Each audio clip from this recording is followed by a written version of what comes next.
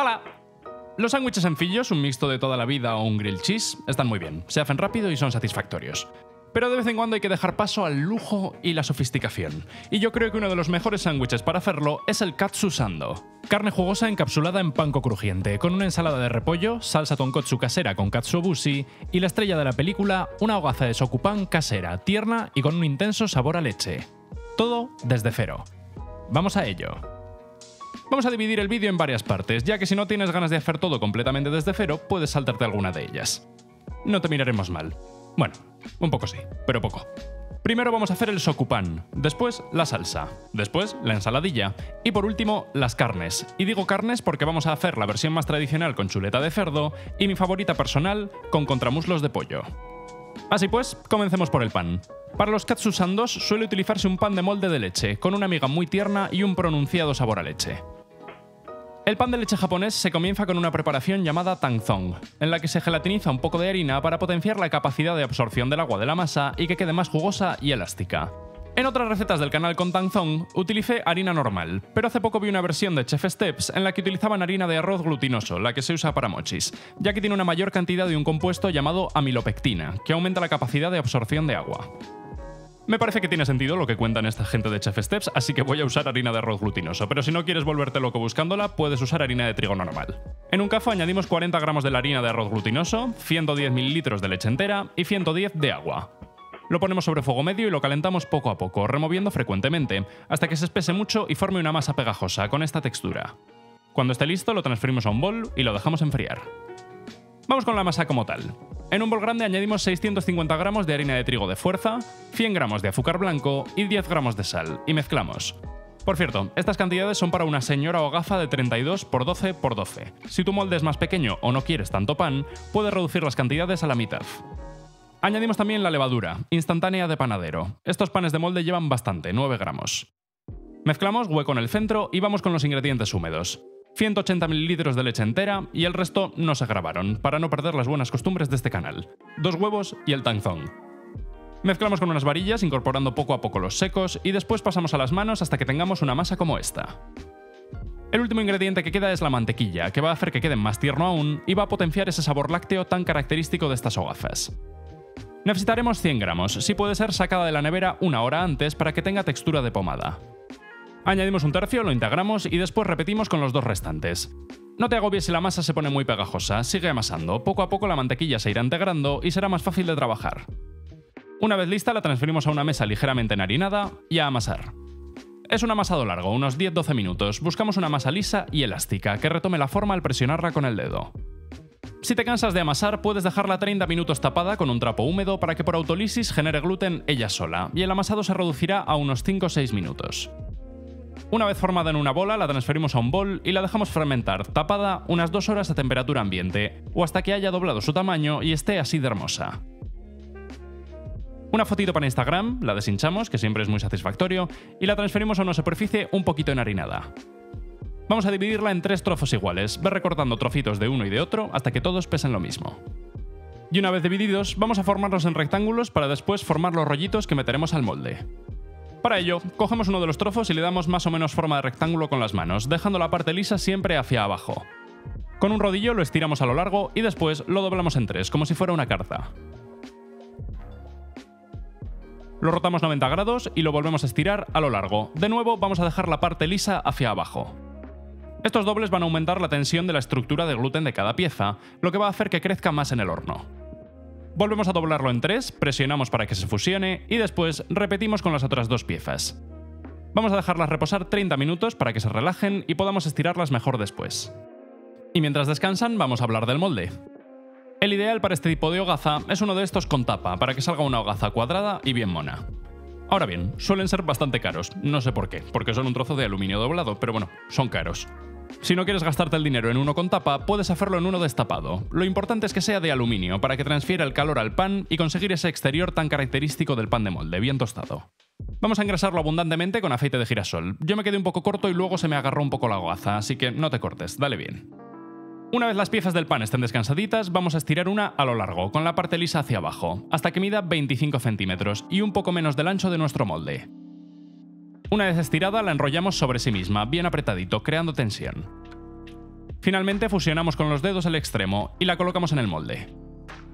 Si te estás preguntando por qué no hacemos un rollo gigante de masa en vez de hacer tres pequeños, es porque de esta forma creamos más tensión interna en la masa y por lo tanto crece más. Y sobre todo, crecerá más homogéneamente. Sería muy difícil hacer un rollo de masa grande perfectamente homogéneo y que creciera a la misma velocidad en todos sus puntos. Una vez colocados los tres rollitos dentro del molde, vamos a dejarlos levar de 45 minutos a una hora y media, cubierto, dependiendo de la temperatura ambiente de tu casa.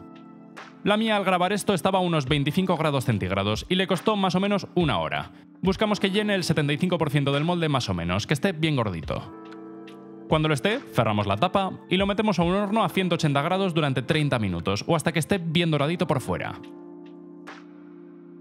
La mejor forma de comprobar que está hecho por dentro es con un termómetro. Debería alcanzar los 90 grados en la parte central. Como os he dicho antes, el mío se quedó un poco pegado, así que tuve que desencajarlo con una espátula, pero si engraséis bien el molde no debería pasaros. La hogaza es espectacular y huele que alimenta. Así en caliente es demasiado tierna para cortarla, así que te recomiendo que te esperes a que se enfríe un par de horas. Segunda parte del vídeo, vamos con la salsa tonkotsu, un clásico de estos sándwiches y de todas las frituras japonesas. Es una especie de salsa barbacoa que se puede comprar hecha, pero también puede hacerse en casa. Y esta es una receta de Joshua Weisman que introduce katsuobushi en la mezcla, bonito deshidratado y ahumado, lo que le da ese sabor ahumado delicioso y además un extra de umami.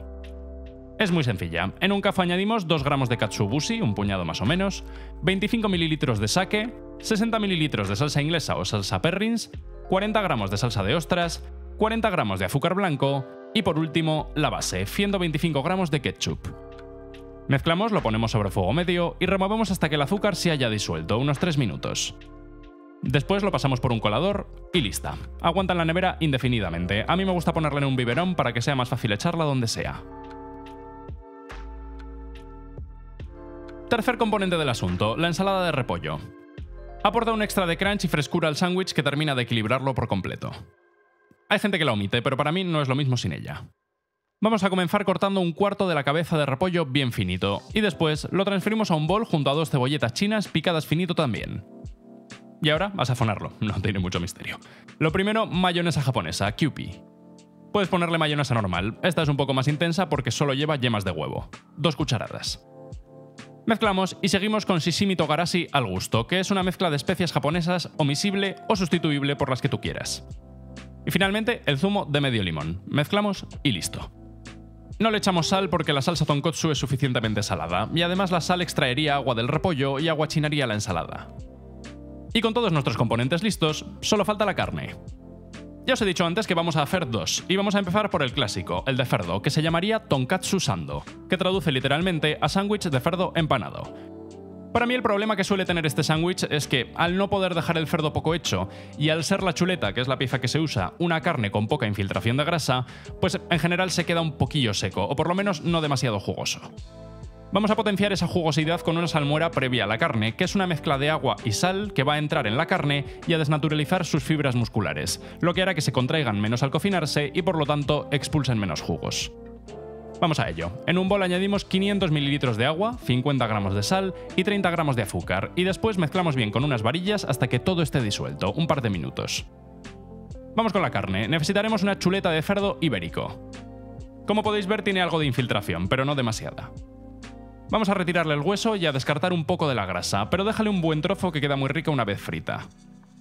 Y nada, la vendemos en salmuera y la dejamos ahí al menos dos horas, pero idealmente toda la noche. Puedes, por cierto, ahorrarte la salmuera, ponerle sal y pimienta y dejarla reposar solo 30 minutos, pero el resultado será mejor con la salmuera. A empanar.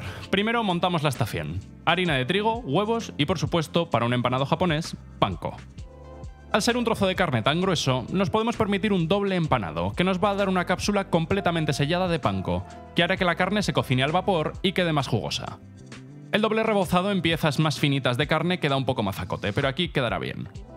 Así pues, secamos la chuleta de la salmuera, harina, sacudimos el excedente, huevo, harina y huevo otra vez. Y por último, el panko, presionando bien para que se adhiera una buena capa homogénea. Y solo nos queda freír, aceite de girasol a 180 grados. Metemos con cuidado la chuleta y la freímos unos 4 minutos por cada lado, moviéndola constantemente, sobre todo si estás friendo en una sartén y va a estar tocando el fondo, para evitar que se queme. A mí también me gusta echarle aceite por encima constantemente para conseguir un dorado más homogéneo. La temperatura que buscamos es de 62 grados internos, con el calor residual subirá hasta 65.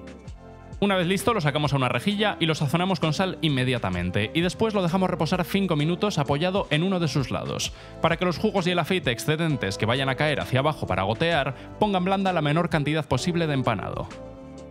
Y nada, a montar nuestro primer sando. Vamos a cortar unas rebanadas de pan. Fijaos qué fantasía de miga, homogénea y súper tierna. El olor y la textura son incomparables, de verdad que no tienen nada que ver con un pan de molde del supermercado. Colocamos una rebanada y le ponemos bien de salsa tonkotsu. Fijaos qué maravilla de chuleta, la verdad. La colocamos encima y después ensalada de repollo. Finalizamos con otra rebanada y ya nos lo podríamos comer así, pero yo tengo que ponerle su look típico para las fotos porque hago vídeos y es lo que toca. Tú haz lo que quieras. Todos esos recortes no os preocupéis que nos los comimos entre el anillo. Y ahí lo tenemos. Son una monada de sándwiches, la verdad. Y lo dicho, están perfectamente equilibrados, cada bocado es mejor que el anterior. La chuleta crujiente y súper bien sazonada, todo lo jugosa que podría estar. Y el pan, de verdad, es que es una auténtica nube, una maravilla. Es una maravilla, sí, pero vamos con el que yo creo que supera con creces al de cerdo, el katsusando, de pollo. Vamos a hacerlo con contramuslos, por supuesto, más jugosos y extra sabrosos, porque además vamos a marinarlos previamente con miso. Estos son dos contramuslos, necesitaremos uno por sándwich. Les vamos a quitar el hueso y a dejarles la piel. La piel del pollo es uno de esos secretos para el pollo frito perfecto. Cocinada queda súper jugosa y aporta muchísimo sabor, y aunque te dé cosica, no vas a notarla al comerlo, casi se deshace dentro del empanado. Hazme caso, déjala, es imprescindible. Vamos a extender con los dedos una capa de miso por toda la carne del pollo, abundante, y después un poco de pimienta negra recién molida. Si no tienes miso, puedes ponerle sal. Cubrimos el pollo y lo dejamos marinar al menos dos horas, pero idealmente toda la noche. Para empanarlo retiramos un poco del miso con papel de cocina y después enharinamos, huevo y panko. En este caso no hacemos doble empanado porque la carne es más fina y sería demasiado, pero asegúrate de presionar bien en el panko para que se haga una buena capa. Y de nuevo, a freír, aceite a 180 y 4 minutos por cada lado más o menos. Buscamos llegar a 70 grados internos. Una vez esté frito, lo sacamos a la rejilla, lo sazonamos con sal y de nuevo que repose en el lado más fino. Y a montar. Rebanada de sokupan, salsa tonkotsu, el pollo frito, bien de ensalada y otra rebanada. Cortamos los lados y podéis ver ya lo jugosón que está este pollo, es una fantasía. Corte a la mitad y ahí lo tenemos. De verdad, es que es espectacular. ¿Veis la piel que casi no se ve? es la responsable del 50% de esa jugosidad, junto al marinado previo, sea en miso o sea en sal.